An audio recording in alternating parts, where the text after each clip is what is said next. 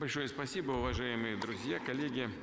Соглашусь со слаженности совместных действий наших военных структур и спецслужб.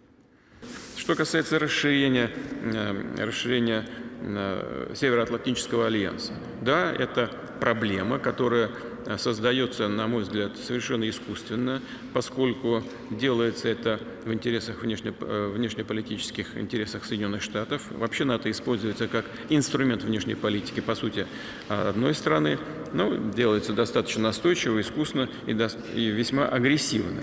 Это все усугубляет и без того непростую Э, международную обстановку в области безопасности. Слаженности совместных действий наших военных структур и спец. Что касается расширения, в том числе за счет новых э, членов Альянса, Финляндия, Швеция, у России, хотел бы вас проинформировать, уважаемые коллеги, нет проблем с этими государствами.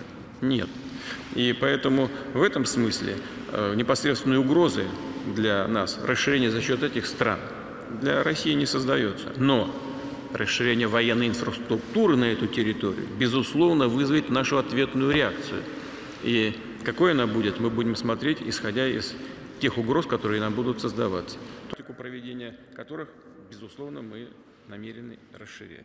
Вот кроме этой э, бесконечной расширенческой политики, э, Североатлантический альянс еще и выходит за рамки своего географического предназначения, за рамки Евроатлантики старается все активнее и активнее включаться в международные вопросы э, и контролировать э, международные ситуации с точки зрения безопасности, влиять на них и не лучшим образом э, в других регионах мира.